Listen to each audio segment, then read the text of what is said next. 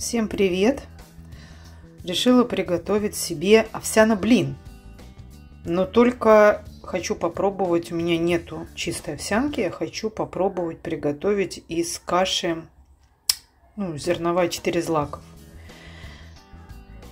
Сейчас попробую. Что получится, не знаю. Значит, я взяла 3 столовые ложки каши. Залила тремя столовыми ложками овсяного молока пусть она замокает, разбухает.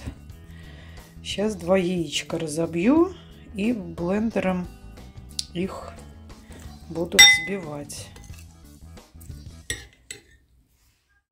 Так, залила яйцом. Подготовила будущую начинку. Хотя еще даже не знаю, получится ли у меня блин.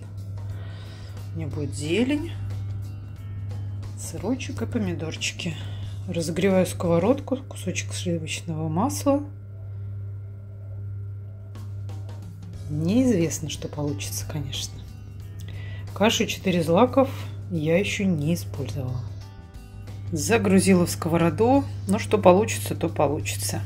Но я думаю, все равно будет съедобно. Что там, яйцо да каша.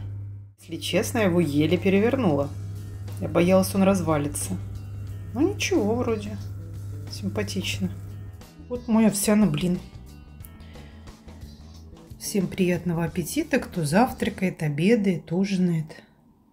Сейчас его заверну буду кушать. Всем пока.